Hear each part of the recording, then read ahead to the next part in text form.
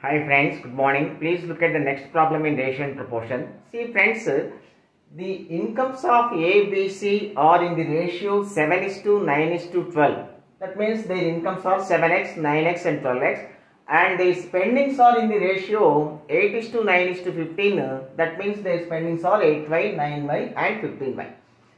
It is also given that A savings, A savings is 1 by 4 of his income.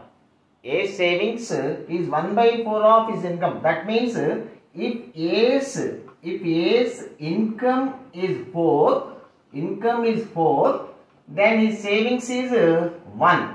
Income is 4, his savings is 1 and expenditure is income minus savings so expenditure is equal to 4 minus 1 3 now the ratio of a's income and expenditure that is uh, 7x by 8y 7x by 8y is equal to income by expenditure. Income 4 and expenditure 3 so 7x by 8y is equal to 4 by 3 it implies uh, x by y. X by y is equal to 8 force 32 by 21 32 by 21 now x is equal to 32 and y is equal to 21 let us find a's savings. A's savings 7x minus 8y a's savings a's savings is equal to 7x 7 into 32 7 30 is 210 plus uh,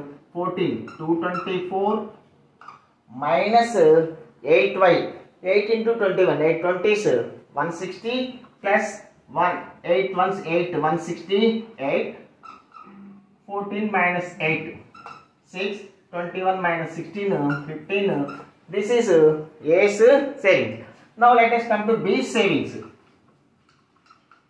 9x minus 9y 9x 9 into x minus y 9 into x minus y 32 minus 21 11 9 into 11 99 this is the savings of b. Let us see the savings of c.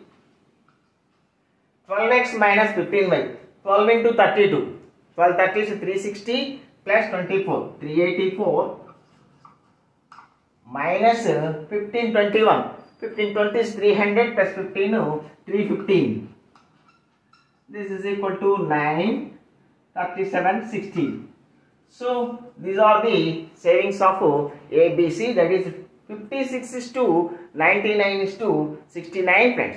Okay friends thank you. Have a nice day